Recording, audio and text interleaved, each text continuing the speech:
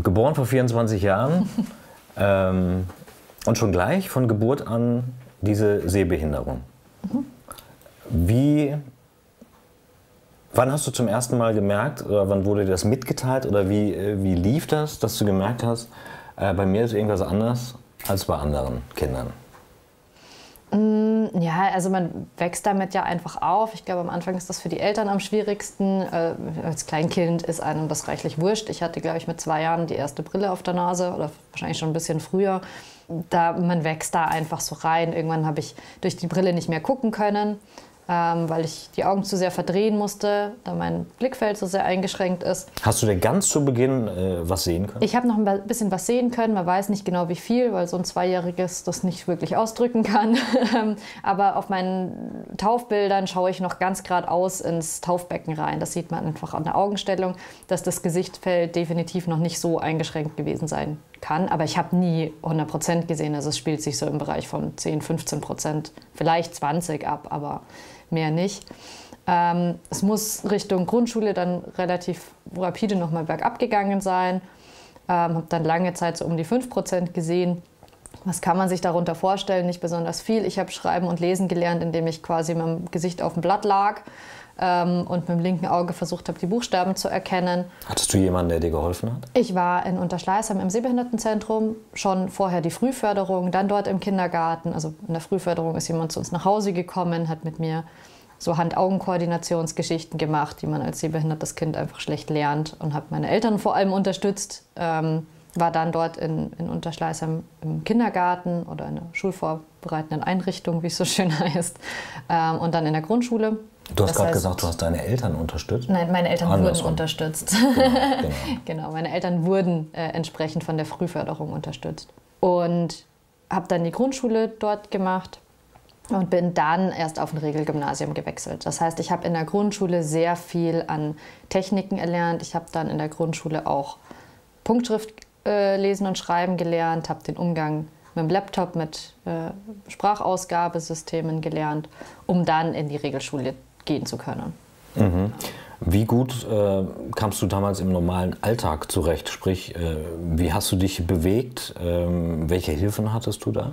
Als Kind sehr, sehr frei habe ich mich bewegt. Äh, bin genauso wie alle anderen über den Spielplatz gerannt, habe mir halt äh, immer mal wieder irgendwo bös was angehauen, hatte aufgeplatzte Lippen, weil ich gegen irgendwelche Pfosten geknallt bin oder so. Aber das lief so nebenher. Meine Güte, ist halt passiert. Als Kind denkt man nicht so viel darüber nach. Ähm, schwieriger wird es dann äh, in der Pubertät, wenn man durchaus deutlich mitkriegt, dass man anders ist als die anderen, wo man auch schnell abgehängt wird von den anderen, wo man seinen Freunden auf einmal auf die Nerven geht, weil sie einen mitnehmen müssen. Das machen Kinder ja nicht. Achtjährige Kinder, die spielen halt miteinander. Denen ist das wurscht. Deren Radius ist eh noch nicht so groß. Wenn man mit 16 irgendwie zum Feiern geht ähm, und dann, ja, erstes Mal versucht irgendwo in einen Club reinzukommen ähm, und da will man nicht noch die blinde Freundin mitschleppen. So. Mhm. Da also hattest du auch immer, wurde das am ja. schwierigsten. Mhm. Hattest du auch immer einen Freundeskreis von sehbehinderten äh, Freunden und war das ein gemischter Freundeskreis? Nee, mein Freundeskreis, also außer in der Grundschule, da hatte ich natürlich sehbehinderte äh, Freunde. Da, außerhalb immer eigentlich überwiegend nur sehende Freunde. Auch heute noch fast nur sehende Freunde. Ganz einfach, man kann mit sehenden Freunden mehr machen. und ich bin an sich ja doch sehr fit, mache sehr viel. Äh, ein Freundeskreis von Blinden geht nicht gemeinsam zum Schlittschuhlaufen. Wenn einer Blinde in einem Freundeskreis von Sehenden ist, dann wird man halt mitgezerrt und dann geht man auch zum Schlittschuhlaufen. Also ganz praktisch eigentlich. Und ich bin immer mit Sehnen besser klargekommen. Mhm. Und wie sehr hat das äh, geschmerzt, wenn du dann mal nicht mitgenommen wurdest und wenn du äh, dann realisiert hast, ich bin doch ein bisschen anders als die anderen? Ja, ich sag mal wirklich, also so im Alter von 14 bis 18 war das am schwierigsten. Ähm, danach hat sich das ganz gut wieder, hat man sich wieder zusammengerauft. Da reflektiert man vielleicht auch ein bisschen mehr mit seinen Freunden und kann besser darüber sprechen.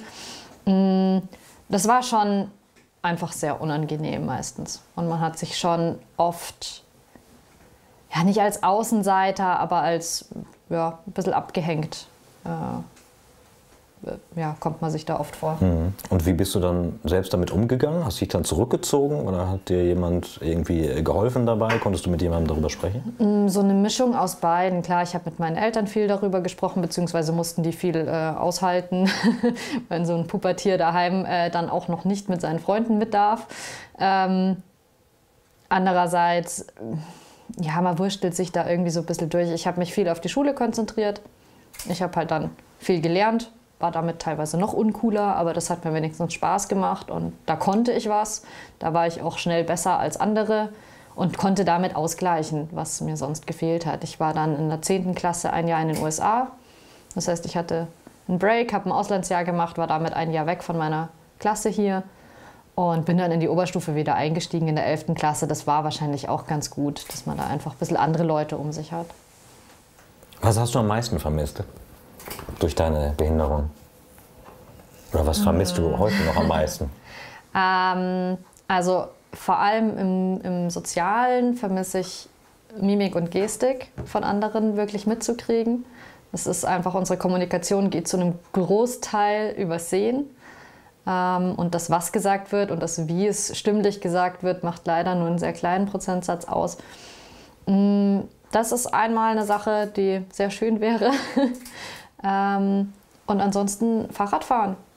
Sich alleine irgendwo hinbewegen können. Weil ich wohne in München, ich bin extrem flexibel mit den öffentlichen Verkehrsmitteln, aber es dauert alles unendlich lange. Und wenn ich immer mitkriege, meine Mitbewohnerin und meine Schwester, die sich einfach schnell aufs Rad schwingen und irgendwo hinfahren, das wäre schon ganz nett. Das sind so ein bisschen praktische Dinge. Weißt du, wie du aussiehst? Nicht wirklich, nee. Also ich habe eine Idee von meiner Haarfarbe. Ich habe natürlich weiß ich, wie sich mein Körper anfühlt, wie sich mein Gesicht anfühlt. Ich kann mir überhaupt nicht vorstellen, wie meine Augen aussehen. Ich kann mir auch nicht vorstellen, wie mein Gesicht aussieht. Habe ich. Also ich konnte im Spiegel natürlich eine Zeit lang sehen, dass ich da bin und vielleicht auch so ein bisschen was von meiner Figur erkennen oder so. Ähm, wobei man sagen muss, dass ich dadurch, dass ich nur am Rand sehen kann vom Gesichtsfeld, ähm, weiß ich, dass dort die Bilder auch verzerrt sind. Also man hat da keinen, also die, die, die Proportionen werden verzerrt, wie wenn man durch so einen Zerrspiegel guckt. Und das ist aber meine normale Sicht. Das heißt, ich habe das nie richtig sehen können. Wie stellst du dir andere Menschen vor, wie sie aussehen? Teils, teils. Ähm, also ich habe natürlich eine Idee, wie meine Familie so aussieht. Bei guten Freunden auch, aber es ist jetzt nicht als erstes, dass ich sage, ähm, hey, wie sieht denn jemand aus? mhm. Also ich habe jetzt von dir auch keine große Vorstellung, wie du aussiehst, aber ist ja auch recht irrelevant im Moment.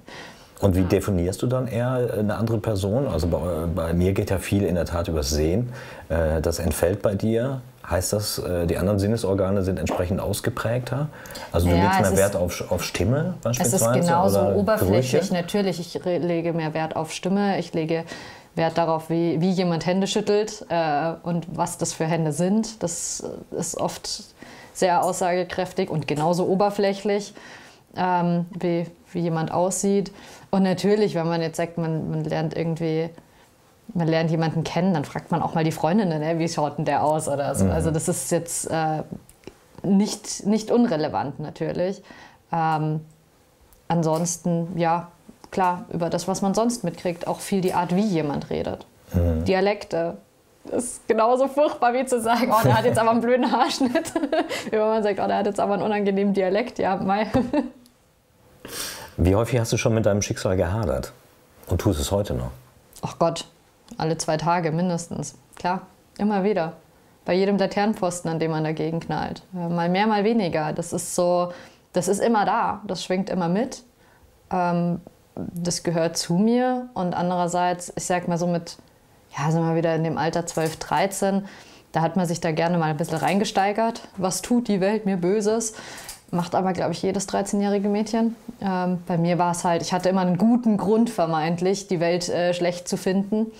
Äh, mittlerweile völlig tagesabhängig. Natürlich, wenn eh schon irgendwie alles schief läuft an einem Tag und dann verheddert man sich auch noch in so einem blöden, abgestellten Fahrrad, äh, das im besten Fall auch noch umfällt und man sich da auch noch irgendwie dran wehtut, ja, dann können einem schon auch mal die Tränen kommen und man hat keinen Bock mehr, jetzt irgendwie noch weiterzugehen, sondern möchte sich am liebsten im Bett verkriechen. Mhm. Ähm, aber so schlimm ist das vielleicht einmal im Monat. Und ansonsten ja, ärgert man sich kurz und macht weiter. Was sind für dich die größten Hindernisse im Alltag? Ja, tatsächlich, äh, also ich bewege mich sehr frei in München. Viel sind so Sachen wie äh, Schilder vor Restaurants, die jedes Mal woanders stehen, die einen einfach Zeit kosten, weil man dagegen läuft, weil man sich auch in dem Moment natürlich irgendwie blöd vorkommt, ähm, dass man jetzt dagegen gelaufen ist. Obwohl ich mal wieder viel zu schnell gelaufen bin wahrscheinlich und es deutlich hätte vermeiden können, aber gut. Ähm, ja, sonst sind es oft so soziale äh, Geschichten, eben, dass man in der Gruppe nicht alles mitbekommt von der Kommunikation. Wenn wir jetzt hier zu zweit sprechen, das ist relativ einfach, dann kriege ich auch recht viel mit, wenn du mal mit den Armen gestikulierst oder dich bewegst oder wegguckst oder so. Äh, sobald da mehr als zwei Leute sind, wird es extrem schwierig und dann kriegt man auch schnell Dinge nicht mit. Du bekommst das mit, wenn ich jetzt zum Beispiel gestikuliere mit der Hand? Ein bisschen. Also ich merke natürlich nicht, was du tust, aber so ein bisschen kriegt, Dass man, da kriegt man schon eine Idee. Genau. Oder gerade hast du einmal kurz weggeguckt oder so. Das hört man natürlich, während du redest. Das hörst du, wenn ich weggucke? Na, wenn ich jetzt weggucke, dann klingt meine Stimme auch anders. Ach so, also, okay, ja. ja. Ist mir nicht bewusst. Ja, genau. Also das sind so Sachen und das erfordert aber natürlich sehr viel Konzentration. Ähm, so etwas mitzubekommen. Generell brauche ich für alle Dinge, die ich tue, ein bisschen mehr Konzentration. Wenn ich versuche, die Spülmaschine einzuräumen, dann ja, es fällt halt leichter zu sehen, wo man den Teller reintun kann. Und man möchte vielleicht nicht noch in die Essensreste von gestern Abend reinlangen. Ich lang jedes Mal rein und suche mir irgendwie meinen, meinen Weg, wo noch was frei ist und ärgere mich, dass ich wieder mal die Ärmel nicht hochgekrempelt habe und jetzt auch noch was Neues anziehen muss. So, das sind so ganz praktische Dinge, die es einfach äh, ja, den Alltag so ein bisschen verkomplizieren. Das heißt, ich schlafe einfach ein bisschen mehr als alle anderen. Mhm. Aber wie kann das sein, dass du dich so frei hier in, in deiner Wohnung bewegst? Äh, bist du draußen mit dem, mit dem Stock unterwegs? Oder? Ja. ja? Genau. Also draußen bewege ich mich mit Stock, in geschlossenen Räumen eigentlich gar nicht. Also auch in Hotels, wenn wir jetzt unterwegs sind bei Wettkämpfen, bei Lehrgängen, lasse ich mich am Anfang viel natürlich rumführen. Das ist auch viel Arbeit mit von meinem Guide, von Martin der holt mich ab zum Essen, der hilft mir beim Buffet, weil am Buffet werde ich nie alleine klarkommen, ähm, außer alle anderen wollen, dass ich alles anfasse. und ja, nach ein paar Tagen meistens, wenn es nicht zu kompliziert ist, finde ich auch relativ schnell alleine zumindest ins Foyer runter oder weiß, wo die anderen ihre Zimmer haben und kann mal zu meinen Mannschaftskollegen rübergehen oder so. Dann zähle ich halt Türen. Das sind alles Sachen, die brauchen zwei, drei Tage und dann funktioniert das auch. Das ist einmal ein gutes räumliches Denkvermögen, wo ich sehr Glück habe, dass ich mich einfach sehr gut orientieren kann, Distanzen gut einschätzen kann und ja, extrem viel Konzentration wieder. Wie zum Beispiel hier jetzt mit den Kameras in einem Raum, wo ich äh, normalerweise ganz frei mich bewege. Jetzt muss ich halt ein bisschen vorsichtiger sein, weil ich glaube, die Kameras sollte man wahrscheinlich nicht zwingend auf den Fliesenboden schmeißen. Also macht man gleich langsamere Bewegungen. Trotzdem ist es erstaunlich, für mich jedenfalls, wie, wie sicher du dich hier äh, bewegst. Das ist echt irre. Ähm, trotzdem bist du immer wieder abhängig von anderen Menschen. Wie schlimm ist das? Schlimm. Als schlimm würde ich es nicht bezeichnen, weil ich habe unglaubliches Glück, dass ich mich überhaupt so frei bewegen kann. Ich habe unglaubliches Glück, als blindes Mädel in Deutschland geboren zu sein, wo niemand was dafür kann. Aber ich sag mal, mit so einer Behinderung sollte man durchaus in einem Land leben, wo ein bisschen Strukturen da sind, auch diesbezüglich, wo die Aufmerksamkeit der Le Leute ein bisschen geschult ist und man auch ja, weiß, dass ich eigenständig durchaus leben kann und in dem unterstützt werde. Wenn ich jetzt unterwegs bin, ich sag mal so, im, wenn wir mit der Mannschaft unterwegs sind, dann ist es eigentlich recht easy, weil da hat jeder von den Athleten irgendwie eine Behinderung. Die Guides als Athleten wissen, mit diesen Behinderungen umzugehen. Und unsere Trainer wissen im besten Fall auch mit den Behinderungen umzugehen. Das heißt, jeder ist darauf eingestellt und es ist klar, dass jeder irgendwo Hilfe braucht. Ähm, da ist es relativ easy. Man freut sich dann aber auch, wenn man wieder nach Hause kommt, in eine gewohnte Umgebung und einfach mal alleine zehn Minuten spazieren gehen kann, weil man sich auskennt. Das ist jetzt nichts, was ich sage, das, ah, das schränkt einen natürlich irgendwo ein, belasten tut es mal mehr, mal weniger, wie überall. Im größten Fall bin ich sehr, sehr dankbar für jede Assistenz, die ich erfahre. Und natürlich denkt man sich oft, okay, wenn ich es jetzt allein machen könnte, dann könnte ich es A so machen, wie ich das möchte. Und B, äh, ja, vielleicht auch manchmal ein bisschen schneller oder einfacher oder so. Es, man muss sich sehr viel arrangieren. Fühlst du dich trotzdem als frei? Trotz aller Abhängigkeit und Begrenztheit? Ziemlich, meistens, weil ich ähm, zum Glück meine Assistenz selber bestimme. Und das ist etwas, das ich in den letzten Jahren auch erst gelernt habe. Ich sage, wann ich Hilfe brauche und wann ich keine brauche. Und ich muss bestimmt oft einstecken und sagen, okay, jetzt brauche ich Hilfe, auch wenn ich es nicht möchte. Aber äh, ich habe die Wahl. Weil ich könnte auch sagen, ich bleibe zu Hause, ich lasse mir mein Essen nach Hause liefern und äh, gut ist und ich verlasse das Haus eigentlich nicht. Ginge auch, möchte ich aber nicht. Mhm. Äh, du hast gesagt, du bist äh, getauft, evangelisch, aber hast sonst irgendwie mit, mit Gott und Kirche gar nicht viel am Hut. Hast du nie mal gehadert und gedacht, so eine Scheiße, irgendwie äh, hätte äh, dieser Gott, wenn es ihn doch gibt, doch ein bisschen anders einrichten können bei mir? Ähm, ich weiß nicht, ob man dafür Gott verantwortlich machen kann.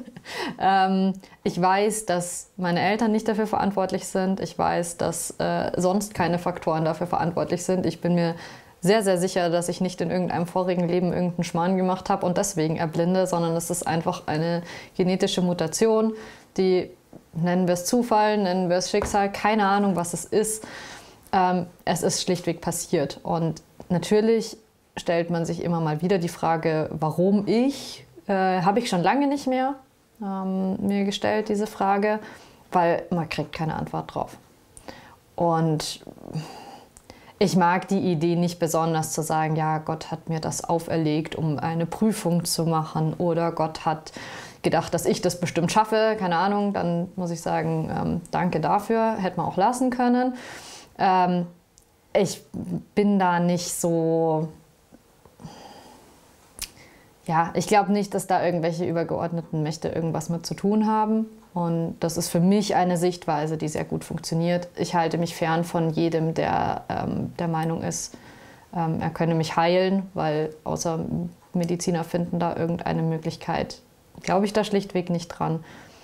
Ähm, es passiert mir sehr häufig, dass Leute mich ansprechen und fragen, ob sie für mich beten dürfen. Gerne, schaden kann es ja nicht. Welche Menschen kommen da auf dich zu, die dir womöglich sagen, ich hätte da vielleicht eine, eine Möglichkeit, äh, dich zu heilen? Ähm, ja, das ist, also das ist überwiegend so ein bisschen ähm, irgendwelche Heilpraktiker, die der Meinung sind, dass man da durch äh, Pendeln, durch aufgelegte Steine oder dergleichen etwas bewirken kann.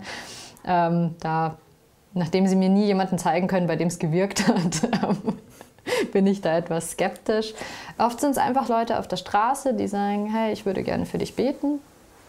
Das finde ich ist eine Anteilnahme, ob man das jetzt beten nimmt oder nicht, äh, beten nennt oder nicht, ähm, kann mir ja erstmal egal sein, aber der Mensch hat das Gefühl, dass er für mich etwas, ja, dass er kurz daran teilhat, ähm, dass ich nicht sehen kann.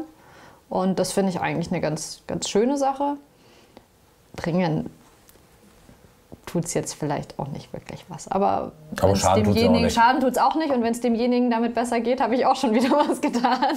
Okay, also okay. oft ist es. Dabei wollte derjenige, dass es dir besser geht. Das klingt natürlich blöd, ja, aber da sind wir ganz schnell bei dem Thema Mitleid. Ich kann auf Mitleid sehr gut verzichten, weil Mitleid für mich oft etwas von ähm, oder sehr häufig leider etwas davon hat, dass die Leute sich über mich stellen und mich bemitleiden dafür, wie schlecht es mir geht. Ich sage, das habe ich schlichtweg nicht nötig und da kommt in mir eher Mitleid für denjenigen auf, dass der sein Leben scheinbar nicht äh, auf die Kette kriegt. Ähm, ist ein bisschen drastisch gesagt, keine Frage.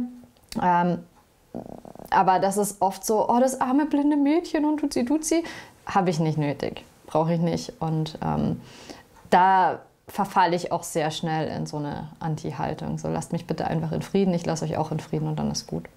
Also sprich, du hast es auch lieber, wenn man dich ganz normal, auch durchaus tough irgendwie äh, Selbstverständlich. so äh, wahrnimmt und annimmt. naja, ich, äh, man kriegt im Zweifel von mir einfach einen blöden Spruch zurück. Also das ist, ich äh, konter dann sehr schnell mit Sarkasmus, was die Leute dann oft nicht verstehen und nicht verstehen wollen, beziehungsweise wenn jemand, ähm, ich tue mir schwer, wenn jemand denkt, dass ich geistig äh, ebenfalls äh, eingeschränkt bin, weil alles, was ich sage, wird in diese Schublade gesteckt und ich komme da nicht gegen an.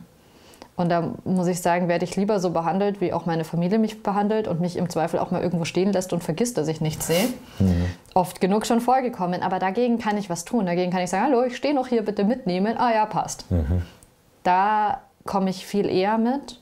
Und ähm, mein, ich orientiere mich immer an den sehenden Gleichaltrigen und nicht an denen, die vielleicht noch weniger können. Weil was bringt mir das? Mhm.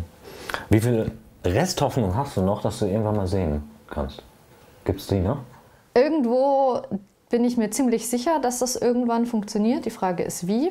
Hm, ich vermute, dass es am ehesten mit irgendwelchen Kamerasystemen funktioniert, wo auch aktuell ja schon dran geforscht wird, Retina-Implantate, irgendwas in der Art.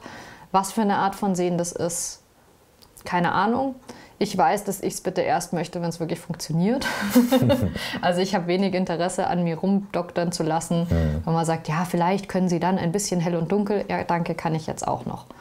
Ähm, also wenn, dann möchte ich in der Lage sein, zumindest mimisch ein bisschen was erkennen zu können und wirklich in der Orientierung erhebliche Vorteile zu haben. Das mhm. wäre das Ziel. Ähm, wir haben von diversen Hindernissen äh, gesprochen. Äh, du bist häufig auch schon irgendwo angedockt und so weiter und irgendwelche Schilder stehen im Weg. Ähm, was würdest du dir wünschen, äh, obwohl wir schon in einem, in einem, Land leben, wo relativ viel äh, geordnet ist, ähm, was sich noch für deine Situation, Alltagssituation verbessern könnte? Was könnte man noch mehr tun, rein gesellschaftspolitisch oder gesellschaftlich? Ich finde, dass sich da gerade extrem viel tut, gerade in den letzten fünf, zehn Jahren.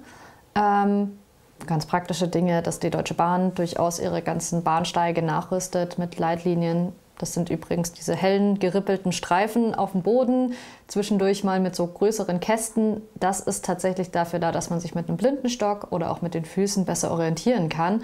Da gehören keine Koffer drauf. Das ist was, was ich gebetsmühlenartig jedem sage, der es nicht hören möchte. Ähm, es ist sehr viel passiert im Punkt der Aufmerksamkeit der Leute. Wenn ich vor 15 Jahren an eine Baustelle gekommen ist, dann hat vielleicht einer äh, Achtung geschrien. Aber eh Achtung bringt mir nichts, mhm. weil da weiß ich auch nicht, was ich machen soll. Äh, mittlerweile kommt in den allermeisten Fällen jemand sehr schnell von seinen Maschinen, von seinem Gerüst runter und sagt, kann ich Ihnen gerade helfen? Möchten Sie sich einhängen? Ähm, ich führe Sie gerade außen rum. Das ist einfach eine Beobachtung, die ich mache. Das heißt, da tut sich extrem viel. Ganz wichtig finde ich den Punkt Respekt voreinander und miteinander zu sprechen, ähm, weil was gar nicht für mich geht, ist, dass ich einfach angelangt werde, auch wenn es die Leute gut meinen. Aber A, wissen die Leute nicht, wo ich hin will. Und B, erschrecke ich extrem, wenn ich einfach angefasst werde. Wie häufig passiert das? Ja, vier, fünfmal die Woche. Okay. Je nachdem, wo ich bin. Also gut gemeint, sehr aber gut gemeint, äh, nicht gut gemacht. Aber genau. Und oft sehr übergriffig. Also in dem Moment erlebe ich das zumindest als sehr übergriffig, auch wenn es bestimmt nicht so gemeint ist. Viele sind ja verunsichert, weil genau. sie nicht wissen, wie sie genau. äh, Aber man kann sollen. einfach die Leute ansprechen und sagen, Entschuldigung, ich habe Sie gerade gesehen, brauchen Sie Hilfe? Hm. Und wenn ja, wie kann ich Ihnen helfen? Das ist ein ganz wichtiger Punkt. Ähm, die Leute haben oft das Gefühl, blinde Menschen anfassen zu müssen, damit sie mitkriegen, dass man da ist. Das passiert eigentlich nie. Und wenn jemand wirklich nicht mitkriegt, dass derjenige da ist, dann braucht er meistens auch keine Hilfe, weil wenn er Hilfe braucht, dann hört er sich schon um, ob, er, ob jemand da ist. Also das sind so ähm, ganz einfache Verhaltensregeln, die es jedem erleichtern. Auch ein Kind sollte man nicht einfach anfassen, das irgendwo offensichtlich Hilfe braucht. Aber trotzdem ist Anfassen sehr übergriffig. Und ähm, das sind so Sachen, ja, eben der Respekt voreinander wo aber extrem viel passiert. Auf praktischer Ebene, ja, wenn es nach mir ging, könnten wir alle Laternenpfosten vielleicht einfach in die Grünstreifen setzen oder beziehungsweise an die Wände ran. Die müssen nicht in der Mitte von der Straße stehen oder vom Bürgersteig. Und ganz aktuell, der Bürgersteig darf bitte ein Bürgersteig bleiben und ein Gehweg und nicht für Elektrokleinstfahrzeuge wie elektrisch motorisierte Roller, Segways oder dergleichen ja. ähm, zur Verfügung gestellt werden weil das macht es einfach unnötig gefährlich für alle. Mhm. Hast du schon mal extrem übergriffige Situationen erlebt? Ich meine, du bist äh, eine junge, attraktive Frau, du bist äh, sehbehindert. Ja, das kommt auch vor. Zum Glück kann ich mich sehr gut, äh, glaube ich, deutlich machen, dass ich das nicht möchte. Ähm, es kommt sehr gerne vor, dass einem vermeintlich geholfen werden will und dann hat man um in die U-Bahn, um den U-Bahn, äh, um die U-Bahn-Tür zu finden, auf einmal eine Hand um die Taille liegen, wo ich mich ja. frage, wofür? Und das ist definitiv nicht Sinn der Sache. Ähm, das heißt, klar, es ist einfacher. Wie reagierst du dann? Ellenbogen in die Rippen. Mhm.